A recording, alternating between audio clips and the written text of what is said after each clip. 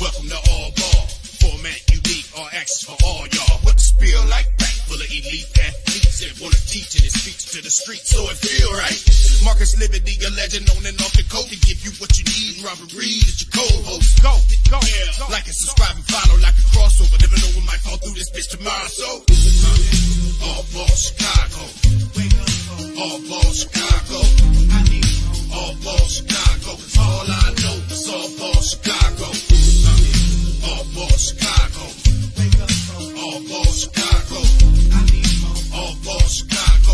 All I know is all ball Chicago.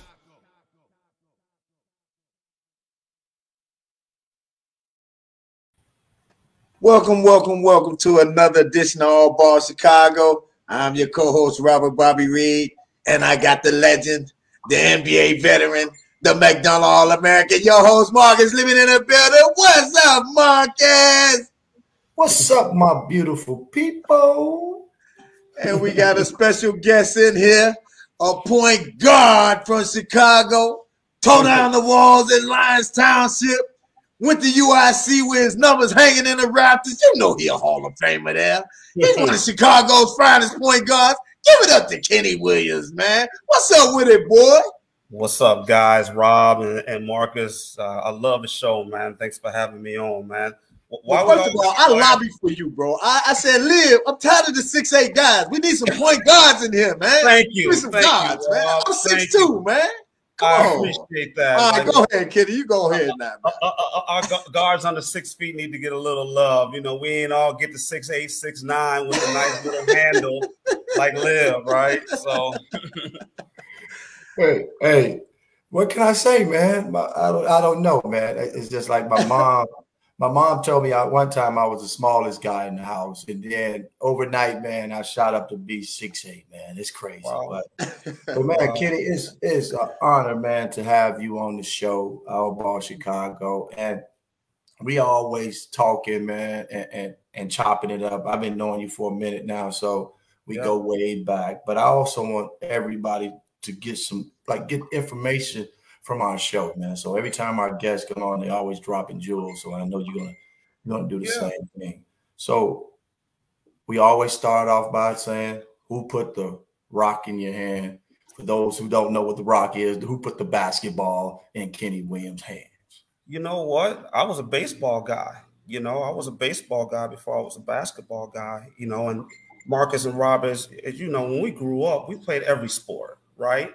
There was no sports specialization. You were just an athlete. We played football, we played baseball, we played everything, right? So growing up, I was baseball, but you know, I was playing basketball. So probably about seventh grade, um, you know, I made the all-star team for baseball. I hit a single, I get on first base, and the first base coach goes, Man, Kenny, this is something that you need to pursue. You don't need to pursue basketball. I think you'd be too small. I quit baseball the next day. he shouldn't have said Wow. that. I quit it, and and I regret quitting it. Right? I, you know, my mom was like, "Why are you?" And I never told. Actually, there's you. You two are the, the few people that know this story. And I quit the next day, and it was all basketball uh, from then out then on. But there was nothing that was forced. Um, you know, I think for me it was, you know, from where I'm from, Lagrange. There's a little, you know, there was a park called the Center, what we call the LGC, and I learned playing basketball from from older guys, right? Taught me how to play the game correctly. I was a young guy. Liv and Rob, I wasn't even allowed to shoot in the games. you know what I mean? Play defense and pass the ball.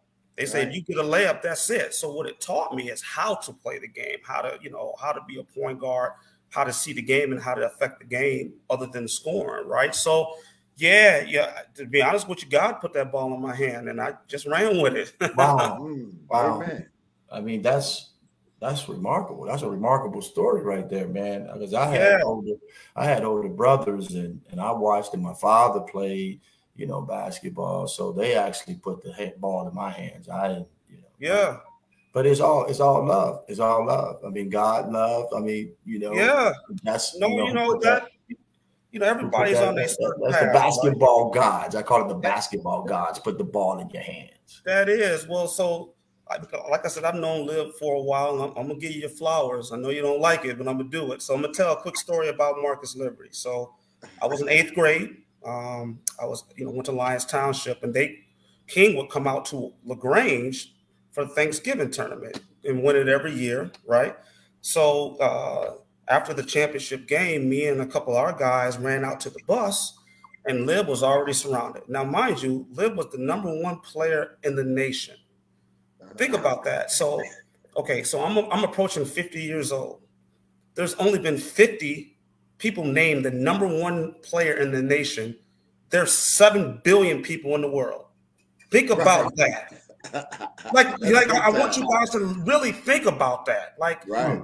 You so the lot there's a there's a big lottery today, 400 500 million dollars. You actually have a better chance of winning a lottery than doing what Marcus Liberty did. So Think about that. But let, let me go on to my story. So I get an autograph from Marcus Liberty, and you know, and we all, you know, we, we're hyped.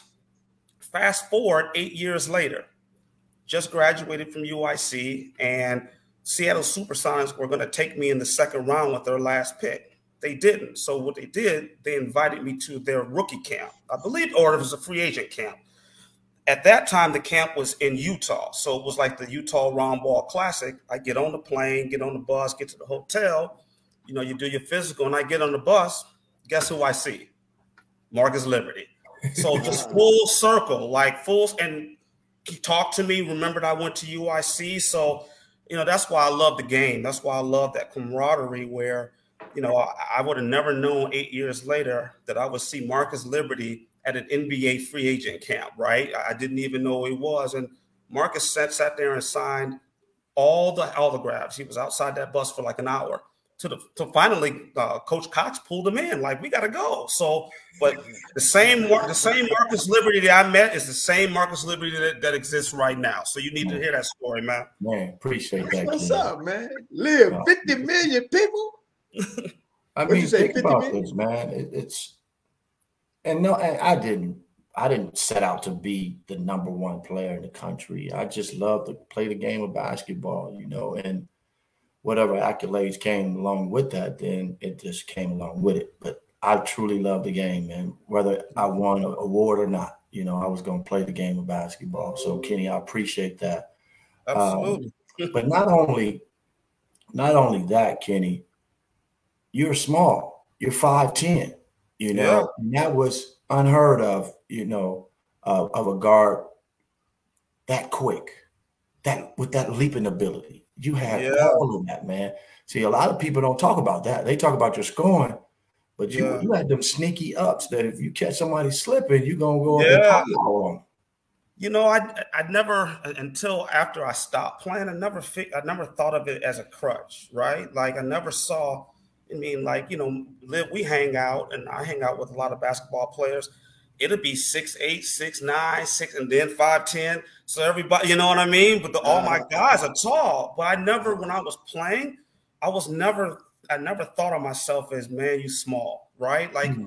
just do what whatever the gifts that you have, use those gifts. Now, I worked hard, right? I lifted weights, side, you know, I I, to be honest with you, I didn't do too much on my legs at all. That was just that's the man upstairs. Upstairs, to be honest with you. But I, I, I did work. I don't want you know whoever's listening, or maybe you've got little you know younger kids listening. The work preceded the talent, right? Mm-hmm. So yeah, the talent was there, but without the work and the dedication, as you know, Marcus, as you know, Rob too, like you know, like it, it, to have talent is like only half the battle. The other half is up to you, right? It might even be more a percentage. But yeah, I was, you know, and I think being able to see two guys help me out.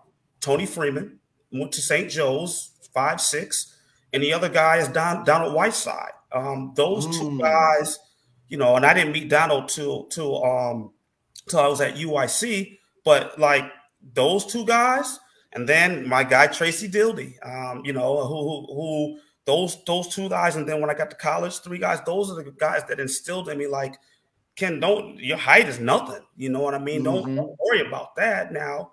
So yeah, it was um, you know, luckily I had really good basketball players, but really good people as well, Lib and Rob, to, to, to, to, to kind of guide me on, right? Because the road sometimes gets bumpy, man. I'm not mm-hmm. I'm not gonna sit here and say it was all easy. It wasn't, right? I mean, right. Look, I, I went to UIC. There were only two other schools that offered me a Division One scholarship, right? That was uh, University uh, Xavier and um, and USC, University of Southern California. Wow. Everyone, else, everyone else was kind of like, we don't know, you know, we don't know if he's big enough. Yeah, he's got, but it's one of those things where they weren't ready for it, right? And mm-hmm. and Lib, you remember George Karl? George Karl yeah. was coach. You know what he told me? He was like, Kenny, the league's not ready for you. Mm. He's like, and I was like, what do you mean? He was like, so you're not going to make it in the league right now. What you need to do is go overseas and make money, and that's what I did, right? But he was mm. like, you're you're before your time. He's like, you know, uh, and at the time, remember they had Dana Barros, right? The 5'11 guy on their team. He's like, Kenny, we're not, you know, he's a veteran. But right. the thing that I respect about George Karl, he told me to, you know, he didn't try to placate it, he didn't try to sugarcoat it. But yeah, I think um that path, you know, no one makes it by themselves, Rob and, and, and Marcus. It's all about the people that are around you. I was lucky enough to have grown men around me, you know, starting in LaGrange, right? Um, mm-hmm. you know, mm-hmm. which has a rich basketball history. People don't know. Um, Marcus Washington went to uh, University of Marquette from um, LT. Owen Brown, Maryland. Elmer Robinson, Iowa State. Jeff Hornacek, Iowa State. Those mm-hmm. guys, you know, I mean, those are the guys I, I, had guys in my area to look up to. Durkee Robinson. I can go through 100 names, man, in, in LaGrange that went to that park. But then the other thing with that park, where the center was, Ray Thompson would come, Alonzo Verge would come, Jamie Brandon would come. So we had we had people coming to this little park in Lagrange to play, and I got to see that, and I got to mm-hmm. play against these guys. So, but you guys, that don't exist anymore. Doesn't exist. No. You'll no. never see that again because never. because AAU found because of AAU. You'll never. There's parks that I pass, and there's no. Imagine this. Imagine where you grew up, Rob and, and Marcus. You go on by a park on a day like today, and nobody's playing. Mm-hmm. Come on, man. Me and Mark talk about that all the time. I can't. I just can't. It just. It's sad. It's really sad. Yeah.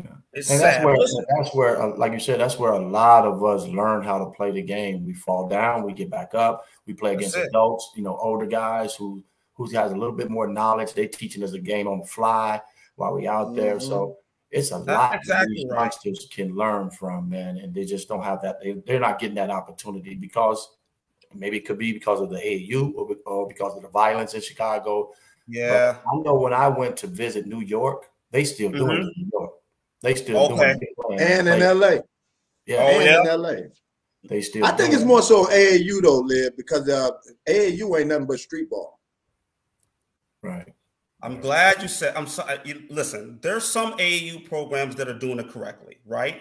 And when I say it correctly, they're teaching the game and it's for the kids, right? It's not for the coaches or the Nike contracts. It's generally for the kids, right?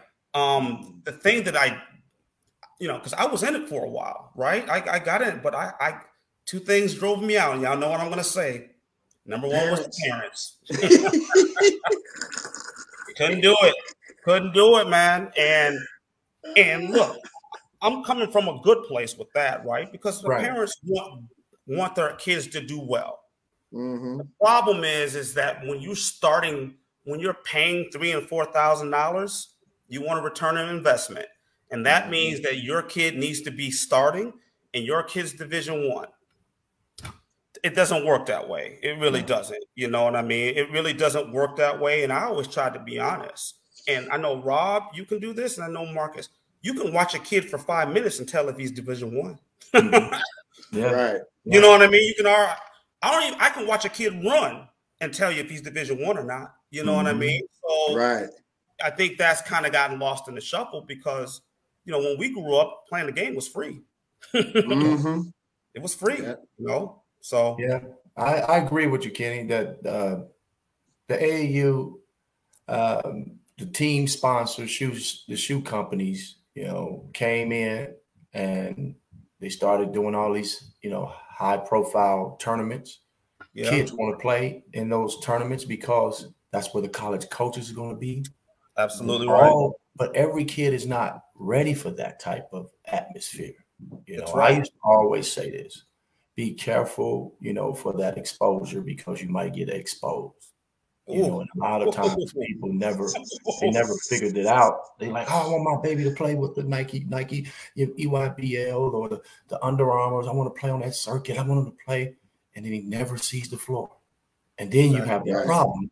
Why Big my son is not playing? Because I paid all this money for him to be on this team and travel and this and that. You can stay local, get better, play the minutes, learn the game, and still get an opportunity to go play college basketball. Isn't the main Right. goal to try to get a scholarship to play basketball? It doesn't have to be on that elite level. It, it doesn't. Power five It really doesn't, especially in 2021 with the technology. If you can play, coaches will find you. I had a very, mm-hmm. I had a, I can't say his, well, I'm not gonna say his name, but he said, Kenny, I, I asked, I was just talking to him. We were talking about a couple players, whatever, just off the cuff because I've known him for 20 years. He's like, Kenny, I'd rather go to practice and watch a kid. He's like, these tournaments, I don't know who I'm getting because Right. they college coaches. And yeah, you might have a kid have a really good game, but I don't know his attitude. I don't know if he's a Mhm. good student. I don't know if he's going to fit in the atmosphere that I am creating at A and B University, right? Because Mhm. Lib and, and, and Rob, you know, the, the last thing you want on your team is a talented jerk. You do Hmm. not, you don't want that on your team, right? Mess up the locker room. Team. no, sir. No, sir. But let's talk about this, Kenny. You Okay. your senior year in high school. Mhm. And I read this in an article somewhere in one of the newspapers. I don't know which one. You were doing your thing in high school, and some schools started coming, knocking at your door. Mhm. But you stayed true to yourself. Said UIC was there from the beginning. From the beginning. They were they were they were recruiting me hard.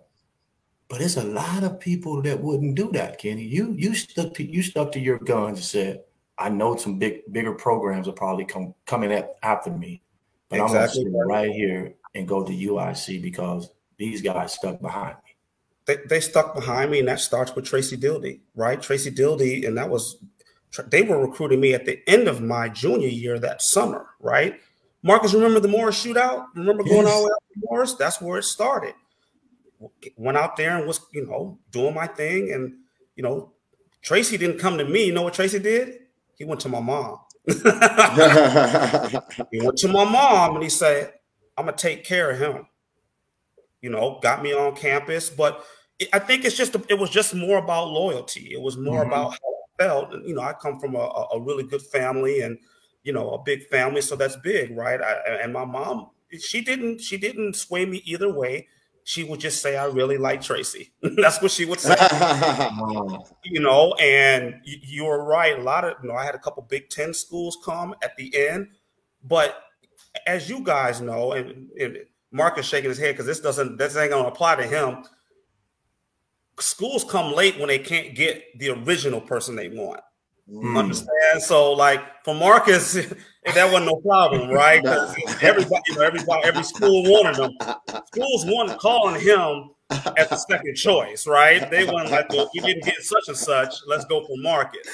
But that, that's kind of how I felt, you know. And I remember sitting in a meeting with a, I'm not going to say the name. I was me, and it was my coach, Coach Nikovich, and my mom. And my mom was like, "Well, how come we didn't hear from you last summer?" Mm-hmm. you know what I mean? right. And the guy was like, I, I, you know what I mean? And so, yeah, so then I think that, and then being in Chicago as well. I mean, I think, you know, I really wanted my mom to come be able to see me and my family to come see me. And then the appeal was at the time UIC was up and coming, right? I felt like what, you know what it did? UIC like matched my mentality at the time mhm. kind of a little bit under the radar, right? Some people have heard, some people have not, but in four years they're going to hear, and that's kind of you know how it matched my, my my mentality. Is you know a lot of people don't know if I could play or not. They've heard the name, they've seen it, but in four years, if I can help this program get to a national, you know, a national type program, you know, uh, I, and that's what happened. And you know, along with Sherell Ford and Charles Breaks and Mario Bailey, our starting five were all Chicago guys, mm. and that's that that was really important to me. And I don't know if you see that too much anymore. You no. know, wow, no, because they go to the different programs. You know, even the University of Illinois, that's still an Illinois school, but I mean, think about the t- maybe the top players in the last ten years None of them stayed in Chicago in the Chicagoland area. They all went, and I'm not I'm not saying it's good or bad.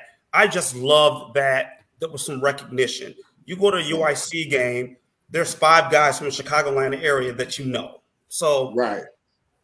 And I think Kenny also there's certain people, and I don't know, you know, I, am not going to say names or anything like that either, but mm-hmm.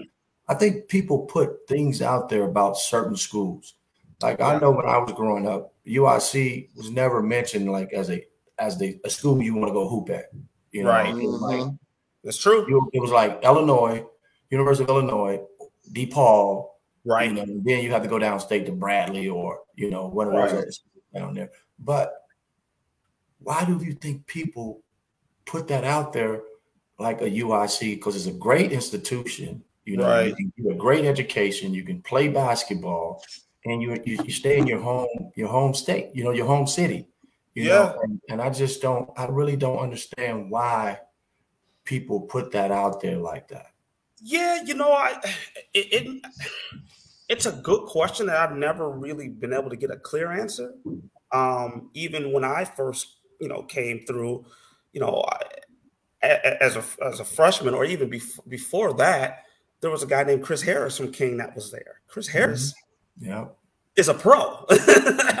you know, right. but I think the city of Chicago, and, and nothing against DePaul, but you know, after Mark Aguirre and all them put put them on the map, the Chicago media refused to do anything in Chicago except for DePaul, right? Mm-hmm. And I, I, get that, right? But listen, my in my four years, we would go at DePaul and act, we would we told them we would play them anywhere they wouldn't play us, right? So at wow. the end of the day, what it is, it's about money, right? So right.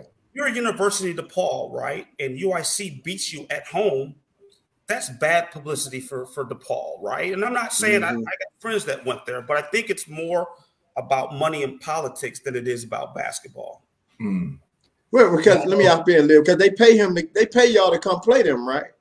Um, so that would be for, for them. It probably would have been a what we call a, a money game, right? Where coming to them, they may may give us twenty thousand dollars, right? Or you get right. half of the gate or whatever, right? For for for the most part, it might have not been that much, but their mentality is we got everything to lose. You guys yeah. don't. Yeah, right. You understand? can't be paying you to come kick my butt. Right. I mean, it's, the, it's my, the market. My freshman, my freshman, year with Tony Freeman, we went down to Illinois and we beat them in Illinois. Right. Mm. Then they came up. You know, and Deon was on that team. They came up my sophomore year, and you know, because they had to finish out the, the contract. We didn't see Illinois too much anymore. You know what I mean? So, Tracy, yeah, Tracy, just, Tracy just put that in the timeline too. He said, "Do you remember being Illinois?" So, yeah. So yeah, I mean, I think know, you know, them big, and, big, them big ten, them Big Ten, uh, them big time schools too are afraid too, Kenny, to play teams like that because they know if we lose, we we, we schedule a UIC and they come down here and beat us. Now we we gonna have a hard time getting those Chicago kids to come. They're gonna say you lost to UIC, you know, right, or, or, vice versa, you know, whatever. Yeah. It it'll, it'll be hard to get recruit those top kids. And that's what it's about. It's not it's not about basketball, right? Because I mean, I remember we played at Syracuse my freshman year, and I'm running out the locker room like, we can win this game. And everybody looking at me, man, they're the number three ranked team. They got Billy Owens and Adrian Autry. See, Leb, I never because I I grew up playing with men. I'm gonna give mm-hmm. you your flowers. I'm gonna, you know, I'm gonna say, hey, but once we play, I don't care who you are. I don't care. I don't care about the team. I don't care any of that. Now they blew us by 50, but what I'm saying is, I, that my mentality wasn't like, well, let's have a good showing. No, right. no, no. Right. If we're gonna lose, we're gonna lose. But I never had that mentality like, okay, um, you know, even if I, you know, we played against King a couple times, number one team in the nation. Okay, that's cool, but you know that doesn't win games. You know, the talent. They still got to lace them up.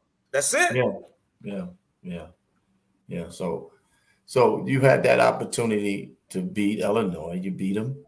You guys did your thing, and now, Kenny, you you stayed all four years. You know, oh, yeah. guys not doing that now. You know, let's talk Yeah. a little bit about that. You know, and I know you wasn't set out to say I'm going to break any kind of records there. You just love playing the game of basketball, That's it. And whatever happened after that just happened.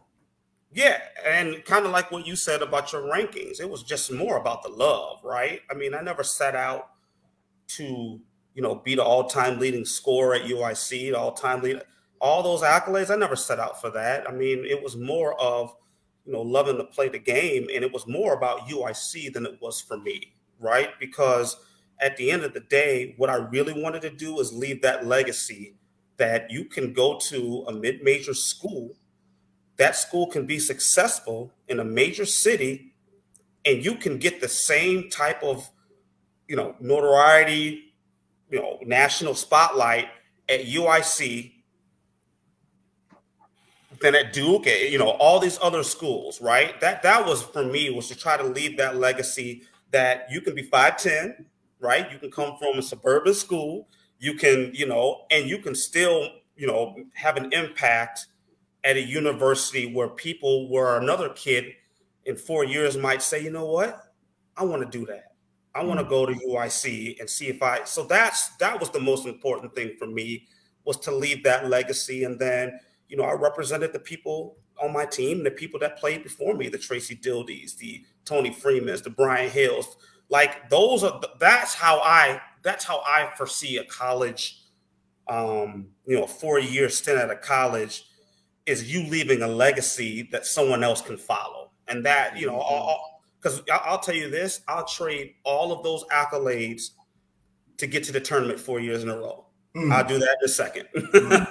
I'll do that in a second. Mm. So, Wow. Hey, Anton Sams wanted us to ask him a question, Lib. Uh, he said, Lib and Rob Kenny, uh, talk about how Donald Whiteside guarded, guarded you in college. whew, Donald Whiteside was strong. He was quick. So let me quick tell you a quick story. He was a senior. I was a freshman. We're playing at Northern Illinois. Um, trying to think. Um, is it Donnell Thomas was on that team? From Antoine Robertson. From Hartman, Robertson. Chicago guys, right? Yeah. So Tony Tony Freeman had dislocated his shoulder. Tip, you know, they score or we are they score. Um, my, my buddy Rob Johnson from Dunbar throws me the ball. Donald Whiteside has me 94 feet.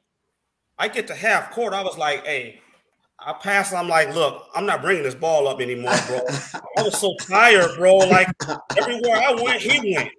Like literally, you know how you have a shadow? Uh, That was Donald Whiteside on me the whole game, the entire game. Like just just as quick, and he was he was strong too. But here's the thing, Liv, kind of like you said, teaching me, hey, Mhm. do this, don't do that. Like we're at the free throw line, he was like, do this, do that. So, but playing me hard now, Oh. playing me hard, but in my ear. So yeah. oh, Don Whiteside, I mean, now you gotta understand, Don Whiteside played in the league, Toronto Yeah. Raptors, and, and, and played right. Played with the Atlanta Hawks. Listen, Donald Whiteside was so crazy in, in practice that um, Damon Stoudamire was the point guard. He goes to Isiah Thomas and says, "This is a story. Donald will hate me about this." He tells Isiah, "Look, I can't be working this hard in practice against this dude, man. Like, like I got to rest." That's how Don Whiteside, like literally, and then they traded Don Whiteside. So that's the NBA for you, right? But yeah, that's my man right there. Like, and, and then you know, fast forward four years, three years, uh, six years down the line, we do a tournament with JJ Mitchell called sponsored by Upper Deck, and we tour Europe. And Don Whiteside's my roommate. So Wow. all full circle. Yep. Wow. Hey, Don Yeah. Whiteside told us that story, Liv. Remember? Yeah, yeah, Remember, yeah. he said Isiah Thomas told him, he said, "Hey, man, uh, you want to keep this job? You better back up off Dabo." And people don't even know that that type of stuff exists on that level. Absolutely. And and, and and and and I love Isiah, but Isiah got to Isiah has to understand that this is a guard from Chicago. You're gonna tell mm-hmm. a guard from Chicago to chill and practice? Come on, come on, man. No, I mean because you know Don wants to play too. You know yes, what I mean? Sir. You yes, can't sir. tell a dog to stop barking. That's why I tell people. Like, yeah. yeah. but but I want to talk a little bit about college, man, and, and okay. maybe you can help us out. You know, here on All Ball Chicago, when you see these one and dones, uh, and then I'm looking at you, who went all four years, got all type of accolades, you know, all type of awards, got your jersey retired. Do you think those one and done are going to get their jerseys retired? They only played one year or is they going to, or are they going to do it for a, a publicity stunt? They they don't. It's not about it's not about college ball anymore. It's about that next level, getting paid to get to play, right? Whether it be NBA or, you know what I mean. Like I'll be honest, when I came as a freshman at, at UIC, NBA was the furthest thing from my mind. Mm. The, the, mm. closest thing was graduating, right? Four years getting a degree, right? So maybe the problem is between the the NBA and the NCAA is allowing the one and done, right? Either mm-hmm. you allow the kids to make money from whenever, or you say they have to stay three years, but have to have some academic progress. So then, after three years, if they decide to go pro or they, you know, or they go somewhere, they can still come back and get their degree. You know what I mean? Like that should be infinite. That should, for for me, if you if you're a university, and I'm not saying 20 years later, you know, but my thing is why not?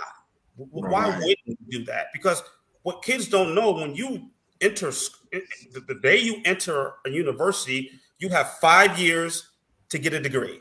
Mm-hmm. They've mm-hmm. already budgeted that money, right? So, you know, then why make a rule that if a kid declares pro, he can't come back and get eligibility to play college, right? So that's the problem is the uh, it's it's the definition of what amateurism is, right? That doesn't mm-hmm. exist anymore. That doesn't exist anymore because now you know you have kids. I, I believe there's a it was a football kid, right, that signed a million dollar contract for like a social media. So Ohio, Ohio State. Throw that out the window. So you mm-hmm. have to read what you have to do is redo the rules. You have to redo what you think amateurism is because at the end of the day, universities can't make millions and millions of dollars off of Marcus Liberty's jersey, but then Marcus Liberty can't come back and finish his degree. There's something wrong with that system, right? So, right. kind of going back to your point, the one and done is based off these, you know, these kids figure the universities don't care about me, so I'm going to try to get everything I can from them to further my career, right? But here's mm-hmm. the caveat. Here's the caveat now what you gonna do after basketball, right? Mm-hmm. right, right. What you gonna do when you turn thirty, right? Mm-hmm. You know, mm-hmm. barring injury. You know, I played till thirty-five. I, you know, and I played in Europe till thirty-five. Live in, and, and, and that's still I, that's half my life. I still yeah. have to come back, right? integrate myself into whatever profession that is. But without an education, how you gonna do that? Hey, how long was that transition for you, Kenny? Sorry, Lib. Yep. How long was that transition for you coming back though from pros after you had your degree? Oh, bro, like I would tell you when I so you're talking about when I stopped playing and, and then trying to figure it out. I would tell you that that that that year was the hardest year of my life. Depression. Um, I was just in the crib watching basketball, and what people don't realize, I identified myself with basketball since I was five years old and to, and then to not come back and play that that's a part the mental health part that a lot of people either they're embarrassed to talk about or it, it, it's something taboo about it. But I'm, I'm, glad you asked that question. I was depressed as hell. I was in the, i didn't do anything. I didn't even pick up a basketball right? Until you know it, it had to be the master. One day it just clicked. I was like you know what k-dub? You don't have to play at the level you playing, go to the gym and shoot. Went to that gym and shot, and then started my career. You know, right, right now, what I do is, I guess the basic way you can see it is I'm a recruiter. Companies call me, and I, you know, I um, find talent for them. I've been doing that for the last 20 years. But you know, that gap from when I stopped playing to then was a was a tough time, man. Didn't talk to anybody. Was just like literally, and then I was like, damn, I'm depressed. You know what I mean? Hey, so, Lib, that seemed to be an epidemic, though. It, it, that seemed to be a problem amongst professional athletes, Lib. Because we've heard this about five, six times on here, bro. Absolutely, it is, and you know, it needs to be talked about because you know, eh, I, I when you love something that much, and then you kind of realize that you can't do it at the level you can do it, you know, and you can't make money from it no more bro i'm gonna tell you something. Like that's not that's not something that's easily done. It's not something that's easily talked about either. But yeah i was i was very depressed man. But then you know by the grace of the master was able and then and myself as well able to get myself together and you know doing well now. But there's a lot of stories of people that never recovered man. Yeah. And i i think bob and kenny that universities even high school you mm-hmm. know they need to have some type of curriculum that helps you trans transition from high school to college you know whether that's you know teaching you the, the study habits that you're going to need to to be successful on that that next level and then yeah. from college to whatever it may be overseas NBA whatever profession it may be you need a transition to that because you started playing basketball, or we started playing basketball, and then all of a sudden that ball stops. Right. And now I'm confused. You confused. You like, I got my degree, but I, have been playing. I've been I've been dribbling this basketball, shooting, and doing this for a very long time. Now, what am I going to do? I think that we need to find out early what yeah. we want to do after basketball, whether that's being in the media, right, being a general manager, being a head coach, whatever it may be, we need to understand that's what we want to do. And some people get it and some people don't. Well, and that's why I mean I love this show because both of you keep it positive, but that's why universities need a Marcus Liberty, right? That's why, and I'm not saying any university, I'm not gonna say, it, but that's why because your knowledge is what's going to help these young kids. Because let's let's think about it. Even through college, there might be one kid that goes on to play professionally. You got 11 kids trying to transition into the professional, whatever profession that needs to be taught along with basketball, right? Mm-hmm. So you need a you need a you need a Marcus Liberty to say, hey, look, you know, let's. I was I was number one player in the nation. This is how I. So you need people who've done it, mm-hmm. who've been in it, to then be able to go talk to the kids because you have you already come with that reputation of you know being being there and doing that being in NBA like I think universities need to and, and high schools as well need to invest in that yeah. not just the basketball part right? I call it maybe you know you can call it a social worker someone who's helping plan beyond basketball while basketball is happening. Instead of basketball ends now let's make a decision, right? So right. it's not necessarily a plan B, it's a plan and a plan, right? Mm-hmm. You can plan to be, you know, plan professionally and it might happen, but also you also have a plan that's outside of basketball. Those two can go parallel throughout your career. And it seems like Kenny, you had some good people though in your absolutely. Life you know, from your coach. Who was the head coach when you was at UIC? Ron Nick. Or oh, no, so that was Bob Hallberg. That was Bob oh, Hallberg. Dennis Wills. Tracy Dildy was the assistant, and then Rick Pryor was the assistant, but he had left and took the job, job at Chicago State. So, but yeah, mm. good good people through um, throughout college. Um, you know, all of them. You know, made sure as far as school and class, I was going that going there, but then just out there what it is, Lib, they cared for me, right? Yeah. I didn't mm-hmm. like I used, you know, they didn't use me for four years and then, you know, get rid of me. You know, I still talk to Tracy. I still talk to uh, Coach Wills. Bob Hallberg passed a couple years ago, but I was in, you know, I was in contact with him. And then in high school, I, you know, I, I, played for the Bobby Knight of high school basketball, and that was Ron Nikcevich. Like, mm. he didn't play. Like, you know, no, there was no there was no discussion. Here were the rules, and that's it, right? Like practice started at 3:15. If you weren't in the gym at 3:15, you weren't getting in the gym. He mm-hmm. locked all the doors, fam. Like you're not getting in the gym. Wow. Like so, yeah, he was. But you know, I'll you know a little bit off subject. I'll talk about him. He was the one that told me, Kenny, you can play at your speed and you'll be successful, or you can slow your speed down to the team and we'll be successful. Oh wow! Oh. And he was like, you know, a lot of a lot of colleges colleges at that time thought I was like too slow to play. He was like, if you slow our speed, slow your speed down to our speed, we're gonna be successful. Live my senior year, before before the tournament started, the number one team in the state was King. The number two team in the state was either Thornwood or Thornwood Ridge. Lyons Township was number three. Wow. Oh, wow. We, we didn't even start off ranked, right? Now we end up losing the super sectional to Bloom. But like when he told me that, my senior year, that went a long way. He was like, if you play at your speed, yeah, you, you're gonna, you're gonna, yeah, you, you're gonna do great. But if you play at our speed, our team will be great. And that got mm. me, that got me more attention than if I would have played my way. Right. Yeah. Well, that's a sign though, Kenny, of you willing to learn more. There you go. Because you, know, you could have easily stayed stuck in your ways and got mad at that, but saying, "Well, why you not letting me play the way I'm capable of playing?" Exactly right. You know, exactly so that, right. That's a sign of maturity, man.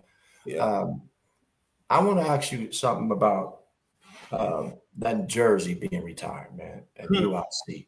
It's a lot of yeah. people that don't get their jerseys retired, man. And at yeah, UIC, how many guys got their numbers retired at UIC? Three. Three guys. Yeah. Let's go. Yeah. Yeah. Let's go. And, and, did one of them play with you?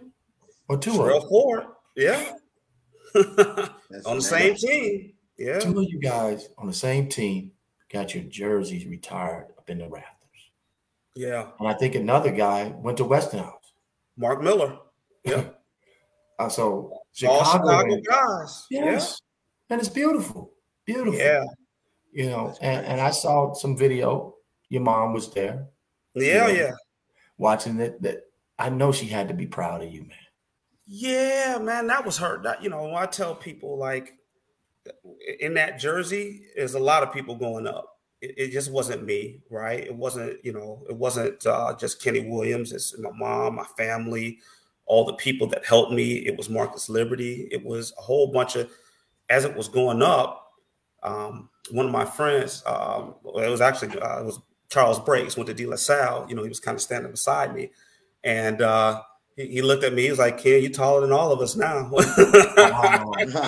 oh. Yeah, it was a, it was pretty cool. And, and then that, that was the thing. I had all my my teammates, um, you know, come um, come support me. I had guys, you know, Mark Miller was there, you know, after I graduated. I had, you know, Tracy, uh, you know, Tracy Dildy was there. I, I, had people from all generations there. So that's what that was. That was for UIC, right? That it is pretty cool though. You know, I, I think I never, I think because it happened at, a, at an older age, I can appreciate it more, right? Because it was so, I just thought about all the people that helped me get to this spot because you just don't do it by yourself. But yeah, it's, a great honor, man, and I'm I'm glad it happened in Chicago. I really am.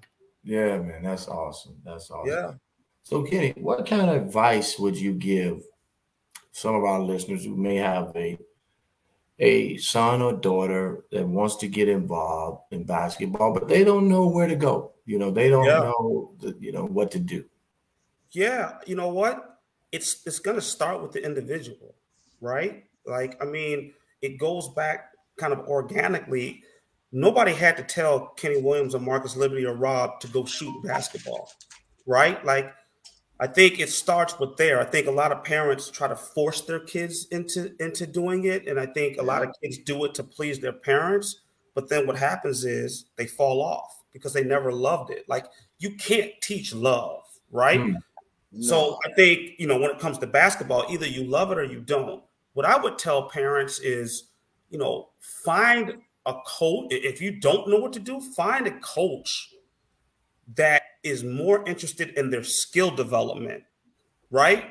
Mm-hmm. Basic, the basics, right? Start with that. I think the analogy is this: what when we first learned how to drive a car, did they throw us in a Porsche? No, no, we'll crash it, right? throw us in the most basic car so you learn. So and, and take the time to learn the game, right? Like, I mean, it's going to take time to develop that skill set. I just, I would just say, be patient with that, and then keep them in all sports, right? There's no reason to specialize there's no reason that a, a, third or fourth grader should be playing basketball 10 months out of the year. Mm-mm. Put them in baseball, right. put them in everything, because that's how yeah. you're going to develop the total skill set, right? I think, you know, I, you're going to generally gravitate to what you love, right? So I think, you know, starting with the, the, the fundamentals and the basics. I mean, Marcus, I've seen you train, and I don't know if anybody's watched. Marcus, all the stuff that you do is basic, mm-hmm. basic basketball, footwork, yeah. how to get to the basket, angles. That's basic basketball. So this game is not hard to teach.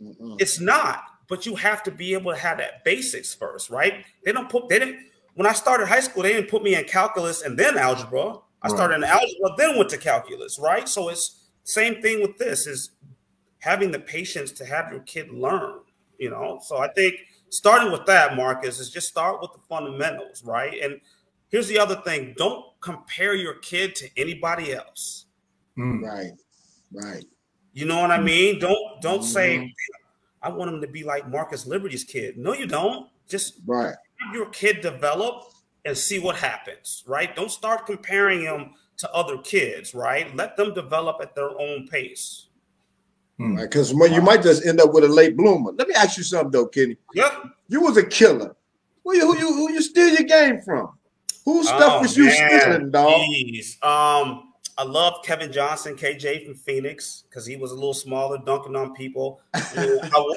I wore number 11 because of Isiah Thomas, and you all know number 11 in Chicago is sacred. Like you, you better know number 11 and be and be a bad basketball player. That's right. like that's sacrilegious, right? You can't you can't do that.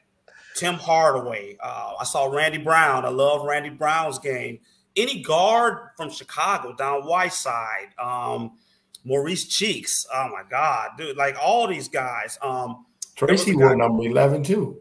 Yeah, there was a there was a guy, um, Alonzo Verge, one of the, one of the guards. I was like, man, you know, and it wasn't like I wanted to be. You ever see somebody and be like, man, I got to get better. Like that was like my freshman year. Like I was like, yeah. I mean, so it was so many so many Chicago guards. Um, Kenny Patterson. Oh my God, oh, yeah, yeah. Rod Strickland because he played yeah. ball. So many guards that I just take pieces of and try to you know incorporate incorporate that into my game. But then, you know, I think where my dog came from is my uncle was like, yeah, "Can you you you can play? Let's go to the city." right. Let's go to the city. Let's go to the city, and he would literally drop me off and be like, "I'll be back." Wow. I was like, hey, where you going? He's Like, I'll be back at four, you know. And that's where I got because it wasn't about basketball; it was about my heart and about right. my head, right? And the and I'm not saying the, the, the difference is is that you got to earn it in the city, and I'm not saying you don't have to earn it. Like the course that I played at in La Grange, you had to earn it, but the city was different, right? Because first of all, nobody knew who I was, right? Right. And then, you know, I said La Grange, oh, this suburban that, you know what it is. I had to I had to go through that process of proving, right? You know, somebody come and give me that elbow and I fall down. Well, now what you gonna do? Are you gonna get up? Are you gonna, you know what I mean? So I think that's why I developed that dog because you know, and, and being a smaller guard, you can't be small and soft. it just doesn't work. It don't it doesn't work. So, you know, but but again, Lib and Rob, back in the day, you could do that, right? Mm-hmm. He, you could he could drop me off at a park on the west side or the south side and come mm-hmm. back because that whatever was going on outside the court, the court was sacred, man. Mm-hmm. The court was like a sanctuary, right? All anything in the court was just basketball, right? So right. he would tell me, stay on the court, don't go nowhere else, right?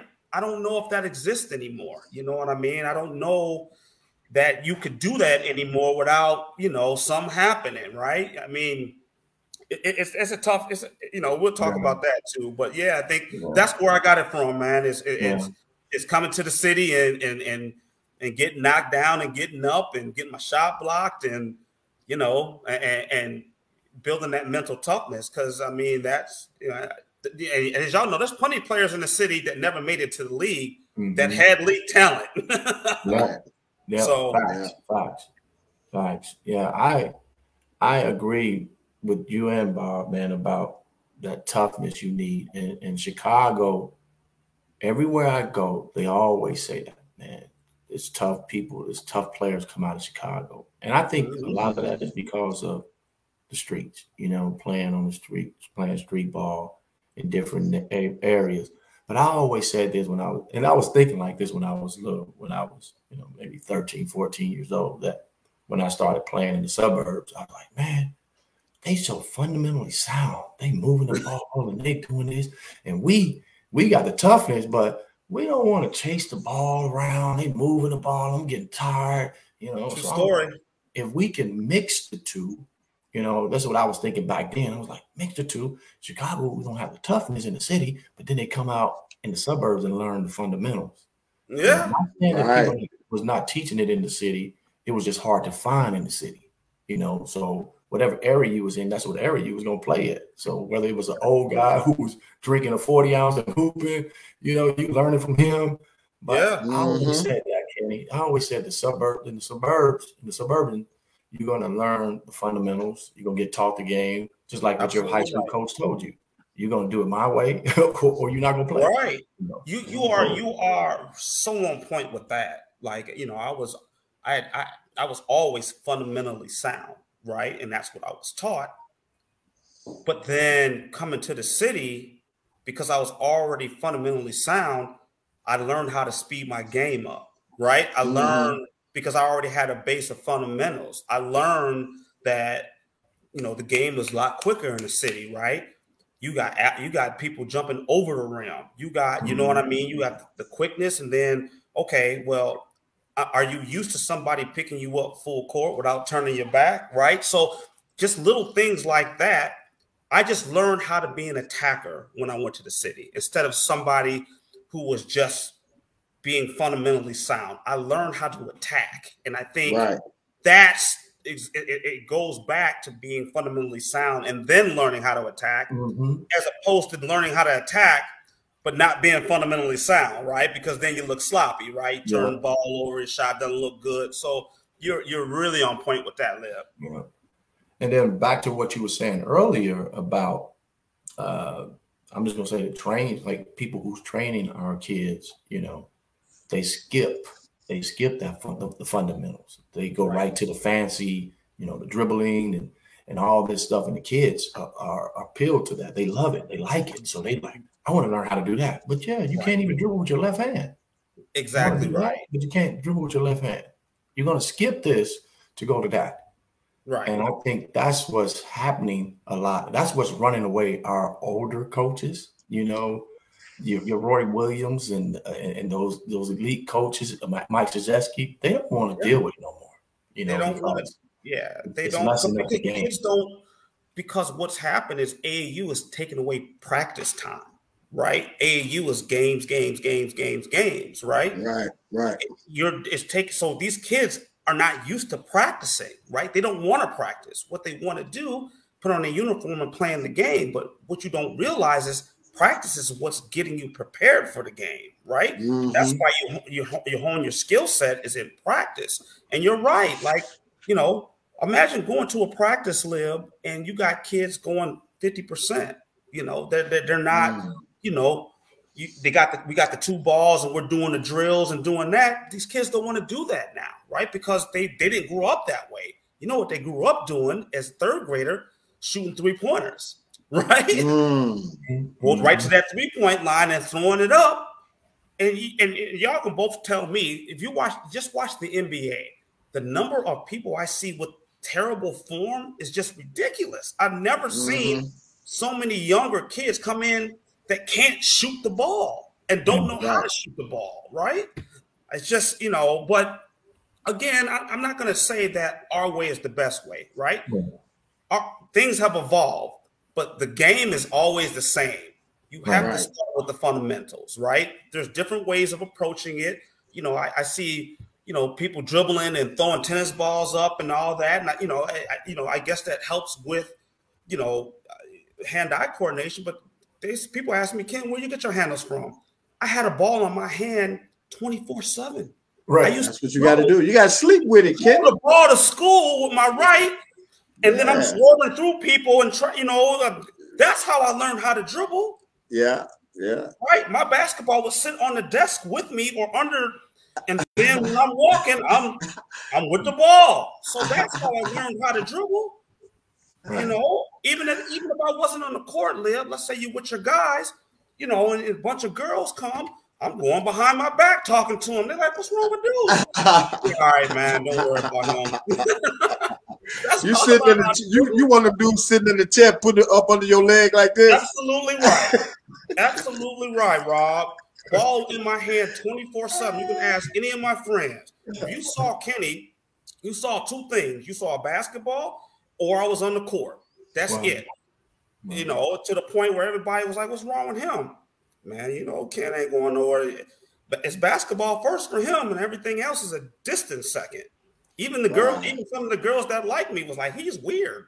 Like, yeah, oh, that's cool. I mean, you know, you want to play one on one? Right.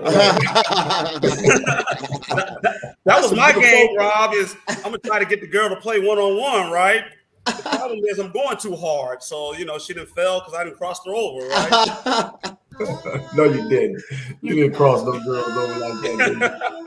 Hey, Kenny, real quick, Lib. I would just want to say when you were talking about the suburbs and the city, man, and I had the same conversation with my sons. And the Mhm. suburbs, it's it is passive, and it's Mhm. almost like in the suburbs because we live in the suburbs, and I raise my sons out here. They got to get hit in the mouth first before they bring it. Right. Whereas in the city, they hitting you in the mouth to make you bring it, Well, and that's the difference in the suburbs, man. Absolutely, and that's why my uncle took me to the city, right? Because it was more of, you know, it, it was the mental part and the heart part that he was, and, he, and you know, I did it at a, a younger age, right? Where, you know, they don't care if you can play or not; they're gonna still test your heart, right? Like my uncle would say two things. He would say, and this, and then uh, him and another guy would say. Um, Kenny, I can take somebody, some if somebody with heart and if somebody with hunger, right? He was like, You're gonna develop your heart first, but somebody hungry will take it. So I was like, Mhm. "Oh," you know what I mean? So he's like, You need to be hungry. Oh, You know what I'm saying? Because you can have heart, but somebody who's hungry will take your heart. So that's why it's like, let's go to the city. And then I was riding my bike to the city. You know, um, me and my cousin Sean Pearson, we ride straight up Ogden Avenue, stop at all the parks. And then, you know, after a while, they got to know us. You know, we go to Maywood to 10th Park, 10th Park in Maywood. And, you know, we go to Argo and play with Ray and them. So again, it was the atmosphere that made me, right? It was a safe atmosphere. It was the love for the game. And people like yourselves who was dropping knowledge, you know, to me on and off the court, right? So I took everybody's knowledge into, into consideration. So I'm listening to Lib, who I know is a great player, but I'm also listening to the guy that might have not made it, might have made some mistakes throughout his life, and nobody listened to him, right? Because now he's not, he don't have any credibility. I listen to that Mhm. too, because I don't. He's telling me the mistakes he's made, so I don't make them. So Yeah. I weigh Right. everybody's knowledge, not just the people that make it. Yeah, yeah.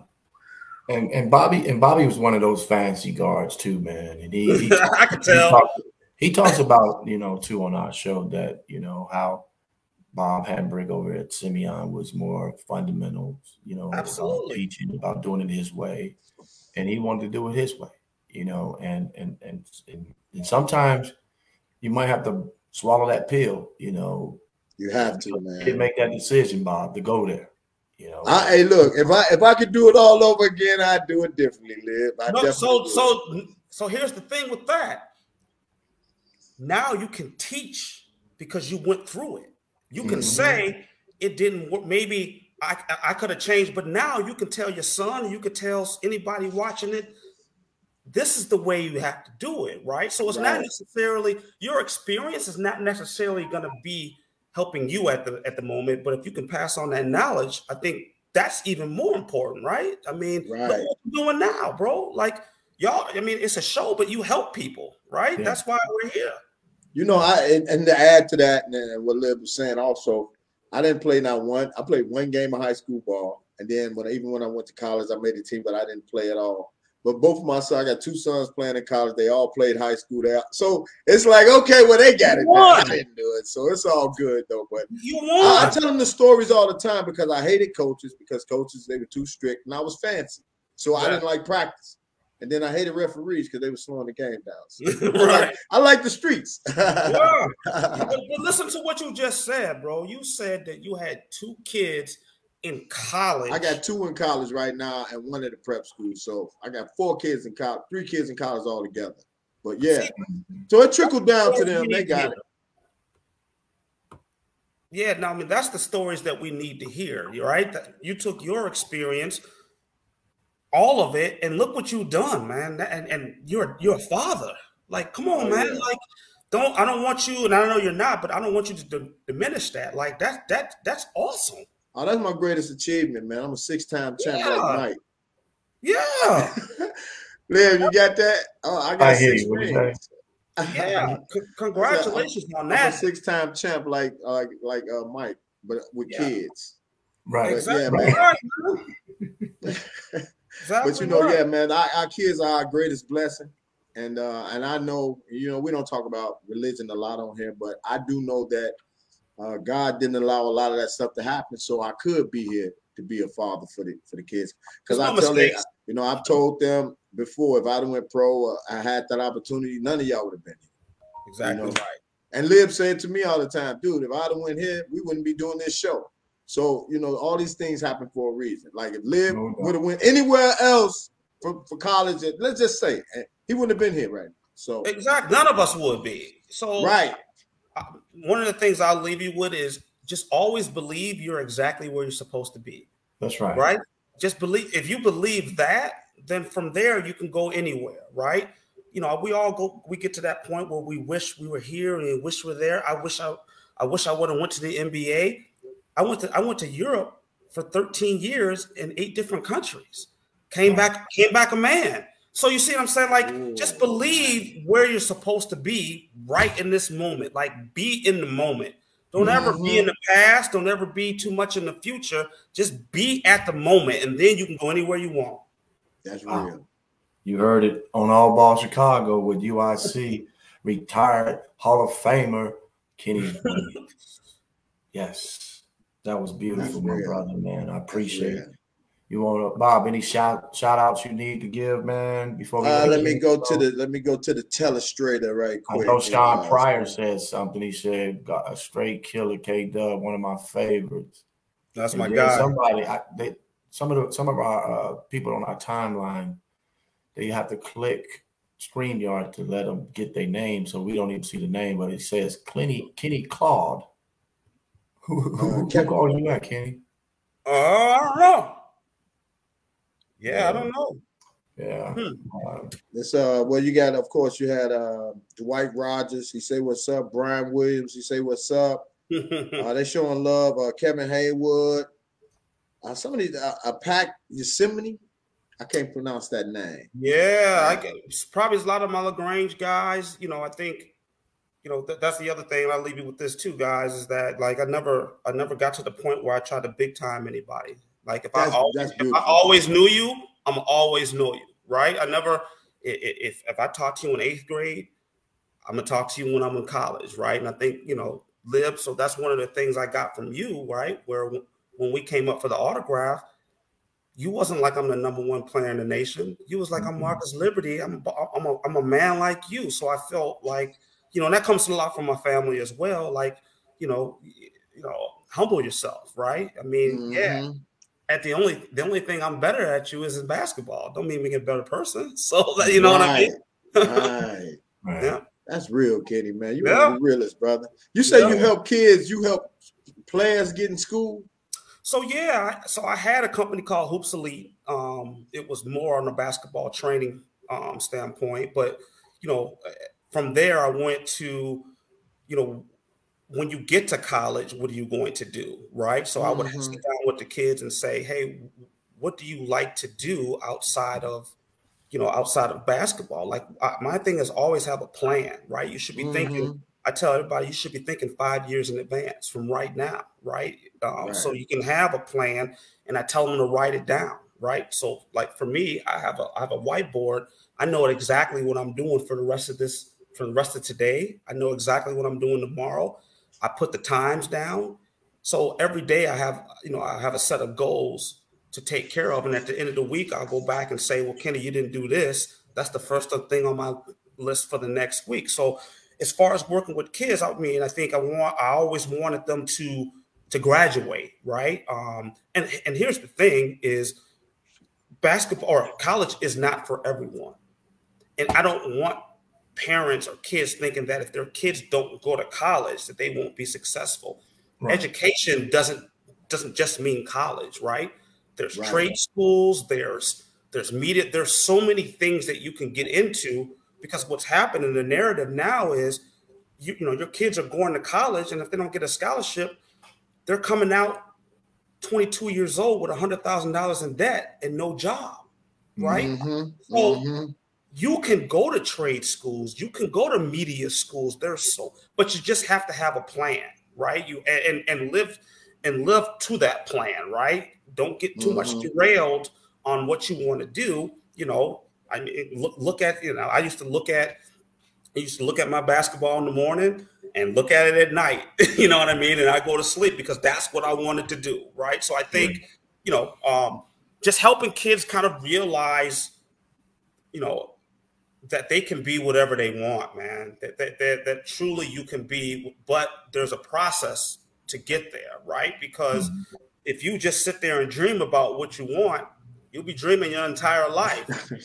You right. gotta have, you gotta match that dream with action, right? Mm-hmm. And, that, and that action has to get you toward that dream, right? There's gonna be down ups and downs, but that's just part of your life. So that's what I try to, uh, you know, to um, instill in these kids and you know, kind of like with your kids, Rob, that's my biggest achievement. It's not that it's, it's, it's none of this. It's, it's, it's nothing about Kenny. If I can say that I've helped anybody become better, then that's mm-hmm. all we're here for. That's all we're here for. That's what we're here for on this earth. Yeah. We just a vessel, man, to help people. And I, I, tell people that all the time. You can't take nothing with you. Nope. All you will have is the memories of people, the way that they remembered you. That's, that's it. it. That's it. That's it. That's the most important. That's and uh, that that's the key. But see, that's that's maturity. That's a lifetime of going through things, right? We wasn't talking about this at 13 years old, right? No. The world, you know what I mean? So, but then also, I think accepting people, right? You guys have all type of people on here through your experiences, through your losses, through your gains, through your ups and your downs. You've acquired that knowledge, and then you are passing that knowledge on. But you're humble so that's mm-hmm. that's the key. Once you get to a point that you're not humble, you might as well go ahead and die because you're you've done you've done learning, right? Because mm-hmm. you're not mm-hmm. doing a service to anybody besides yourself, and we're not right. here for ourselves. We're here for everybody else. Right. Right. Yeah. No, that's dope. Bob, do you know anything about this that I just put up there? I've seen that yeah, uh, floating this. around. Yeah. You seen that too, Kenny? Have yeah, I can see that? it. Yeah, APAC. Uh, yeah. The Chicago Public League Basketball History of Excellence reunion. Uh, somebody else sent me something to that nature. Uh, my guy Lester, he graduated from uh, Corliss, and he okay. was telling me about that. He had all those guys' names on there. That's we gonna be there. So. We might Carvel. I think Carvel. You got Carvel's number still, right? Bailey. Bailey. Yeah, Bob. Yeah, yeah. You might need to. Uh, he just chimed in too. Carvel knows knows about everything that's going on in the city, so he would know right. something about this. So yeah, that's uh, he's watching right now. Yeah, cool. So yeah, uh, no, I think um, man, thank y'all for having me on for sure, man. Just man, you got to come back, man, because you just dropped anytime. some jewels, bro. I- anytime, man. For the gods, man. Yeah, man. I mean, I've seen the, the, the, people that you guys have on here, and the reason I like the platform is because it's not just about basketball. You know, someone right. told me this a long time ago. He said, You can learn anything about anyone the way they play basketball. He's like, Hmm. if you want to, if you want to learn something about somebody, watch them play this game. And I was like, I never knew what that meant until I started paying attention, right? Till I started paying attention to how, how Marcus Liberty played, right? At the end of the game, Marcus Liberty had a triple double, right? Marcus Liberty was never in a rush. Marcus Liberty never got too emotional. Marcus Liberty was always, we called him Big Smooth. That's Right. how Marcus Liberty is. You can learn everything about somebody by the way they play this game. Wow. Wow. Okay, the guy That's- said his name is Bernie Johnson. Bernie, Bernie Johnson Johnson. is doing this. Okay. Okay. Uh, you ken Ernie Johnson? No, I'm just kidding. Boy, come on. Go on and throw you house music. I heard you. hear- I I heard that house music coming on. Uh, you know, we Chicago heads, so you know we, we house music. Uh, hey, we we had Farley on here, boy. We got hyped though, right, Liz? oh yeah, Farley, on? I didn't know Yeah, that. we had Farley, man. We had It was last year. It was last What's year, up? Oh, wait, wait. Carvel's got a question. He said, ask K Dub how many shots did he look to make daily? It'll blow your mind. Oh, great question, Carvel. And I know I know Carvel. So I I would make 500 shots a day. Not shoot, Make. make. Right? I would make and and what I tried to do is not make it stationary, right? Where I'm just sitting in one spot. I think a lot of kids make that mistake because Marcus Liberty, how many times are you going to do that in the game? Where you're going to be able to sit stationary and just shoot. For me, it was everything was kind of off the dribble, right? So right. make 500 shots a game, and then the other thing I would do, the one thing I did in college was I call it I call it one percent better, right? So one percent better every day. So let's say I started off April 1st making 200 shots. The next day, one percent of 200 is two. So Right. every day I'm making. So at the end of the summer, instead of making 200 shots, now I'm up to four or 500 shots, right? So every Mm. day I'm getting better, right? So yeah, no, I think when you practice, you practice to make the shots, right? Not, you know, somebody be like, hey, I shot a thousand shots today. Well, how many did you make? Right. so right. you know what I mean? Like we're shooting to make the shots, right? And then from there, I went to what I call precision shooting. So what I mean by that is no rim. If it ain't going, if that net ain't up at the end, it doesn't count. Now, sometimes I was there for an hour. It was times I was there for seven hours. you know what I mean? right. But I was able to like concentrate, and that's my precision shooting, right? All my free throws, no rim, right? Hit the rim, it doesn't count. So just little things that I would do to my do for myself to make sure that my game was tight, right? Yes. Wow. Yeah. People don't know what goes behind the mind of a mad scientist. Well, no, they, they- they just see they just see the product, you know, the finished product. They see Mhm. Kenny out on the court doing his thing, but they don't know unless you're in Yeah. the circle of how many hours he put on the on the court, how many shots, like he just said, he had to make. You know Yeah. how he he wrote it down and, and made sure he did the percentages of how how I'm, how many I made this at this angle, how many I made at that. So it's a lot of things. Like when I when I talk to kids about Steph Curry, everybody wants to shoot threes because they see Steph Curry, but they don't know the work that Steph work. Curry put in to do that. He started in close and worked his way out. These kids Exactly start right. their way out and stay out, Right. Right. and they don't. They don't Exactly get it. Yeah, Mhm. exactly right, Lib. I mean, you know, uh, you, you see See all how, we, see how we said we was about to go, and then we just start again talking. we Yeah. That's what we all man. We don't have nobody in our ear talking about, all right, take it's time to stop. You know, we keep going all day, man. We keep going all day. But Yeah, These shows man. that turned into two hour joints. I have to go live, still be on. like, Yeah, man. I mean, that's that's the love of the game, right? When you Yeah. can, you know, because when you can bounce ideas off of each other, you know, there's things that live, and even Bob, you said that um, you know I'm thinking about, and there's things that people are listening that we said. So maybe somebody can say, oh, well, instead of making or instead of shooting 250 shots, let me make 100 precision shots, right? oh yeah. you know, because then you're not worried about time, right? You're worried about the product, the finished product. Like I said, there's times it took me an hour, there's times it took me six hours, right. but Mhm. I, I finished it, right? And the result was the games were easy, right? So, right. yeah, right. Well, I, I want to add this real quick before you go, man. Uh, Yeah. Being a being a guard myself, I would honestly have to say that the toughest players that I ever played against, period, period, at Mhm. the guard spot was right here in Chicago.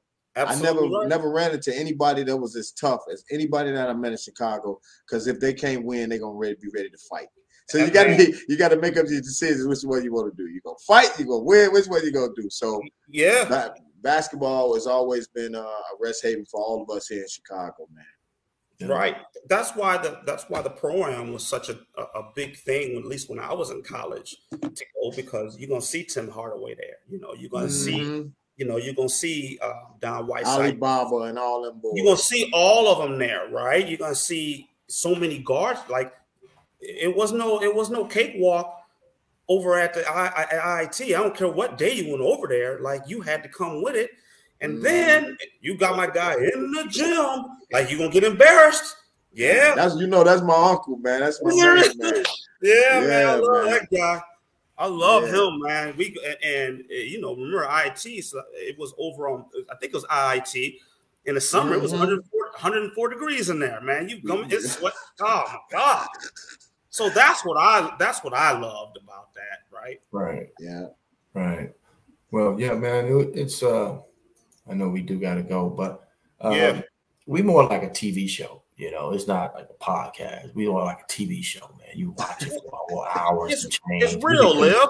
It's We didn't put no commercial breaks in or anything No. like that, you know. But, but I think we do we do brighten up people's days. You know, lunch break. You know, that's why we try to come on at lunchtime. So, so most of our listeners probably going back to work now, but. Yeah, no, it's perfect timing. I got to Yeah, get back. man. And, and Kenny, I just really want to say this, man. That one, one, I am happy, you know, to have you on the show. But also, man, you are a good dude. You know, you you, you- Mhm. are a, a great person to be around, and I and I know you've been doing UIC basketball games on the radio and dropping knowledge to to all the listeners, all the UIC alums, and and people who want to see or hear about UIC. And I think UIC is on to something, man. I think they're they're, they're going to get back on on Yep. top and get back to the tournament again, man. Because uh, we we want all of our Chicago teams, we want all of our Illinois teams to to be successful, man. And I think uh, UIC is one of those teams that's on the up.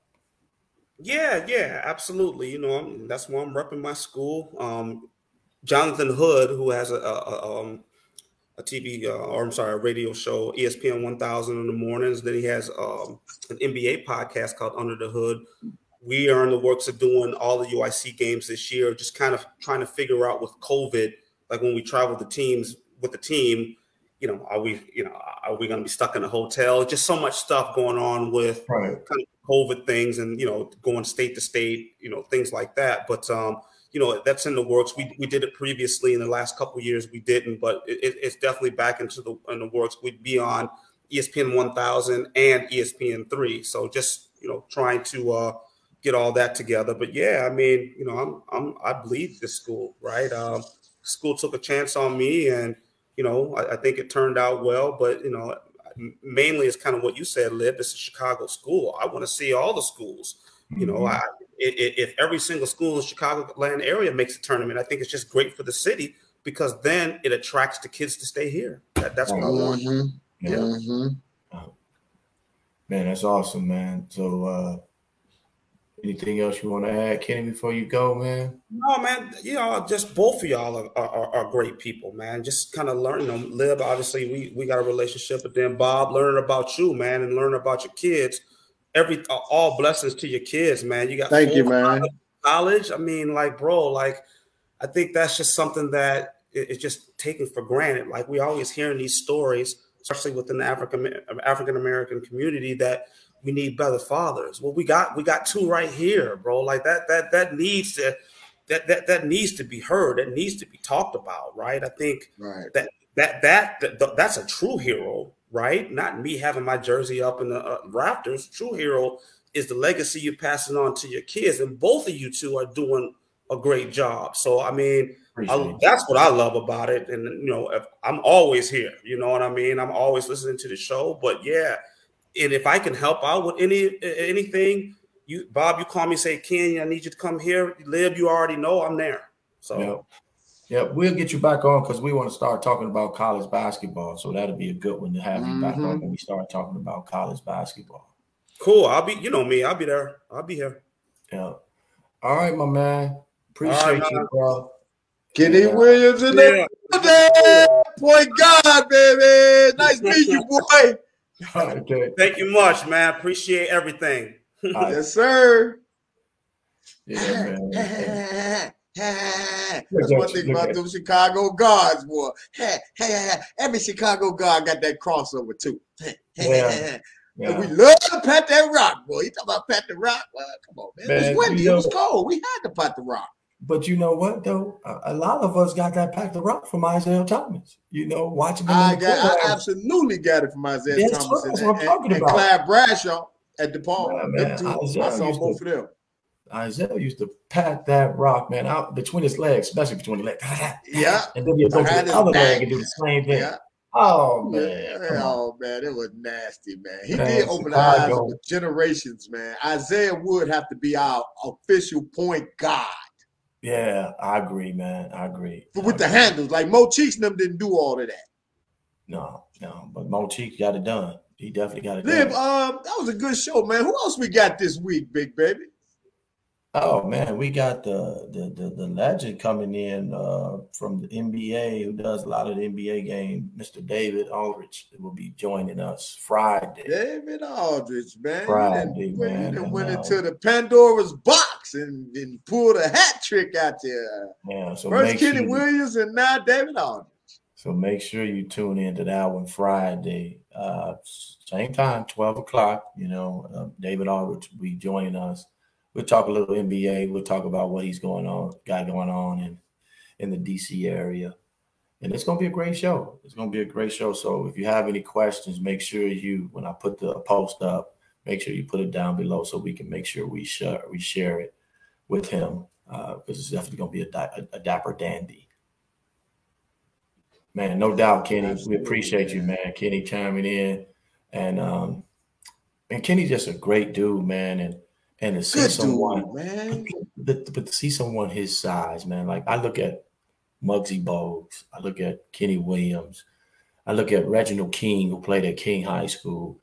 I look at Ramil Shorter. Those guys, when they were playing basketball, they played bigger than what their size were you know, mm-hmm. and they didn't let that get in the mm-hmm. way. You noticed, you heard what he said. He's like, man, I didn't even pay attention to that. I'm like, Right, right. he's six eight, he's six eight. Because when we was growing up, size really didn't matter no, if you could play. If you could No, play, I they never- did. Nowadays, it's the emphasis. Oh, how tall is he?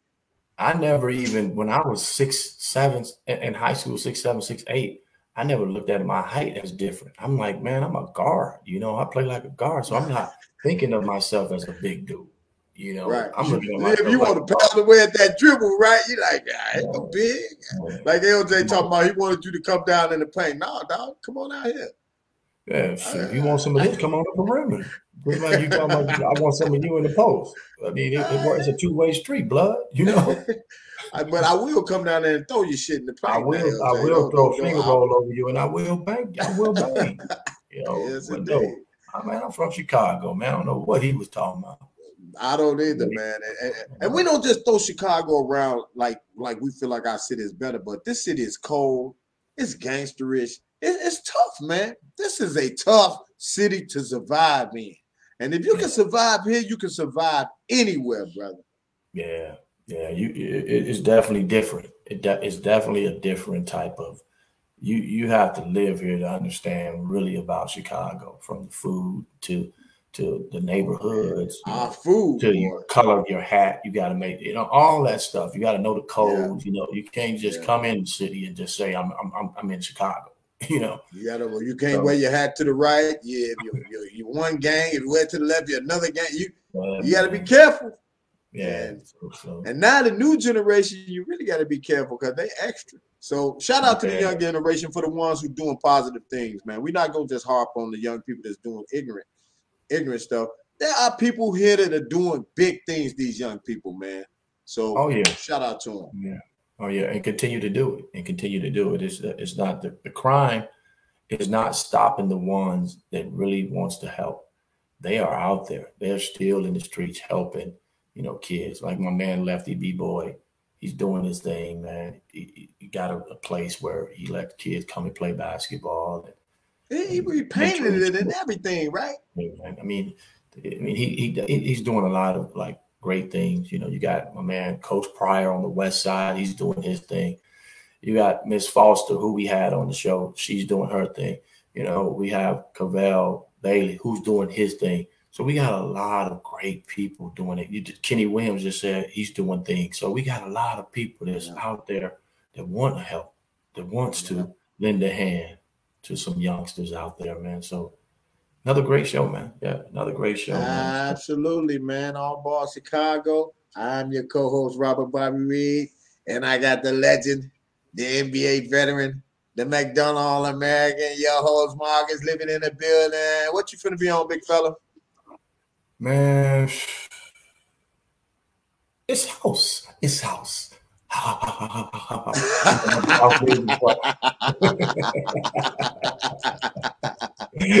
You'll have me up in this mug. ET.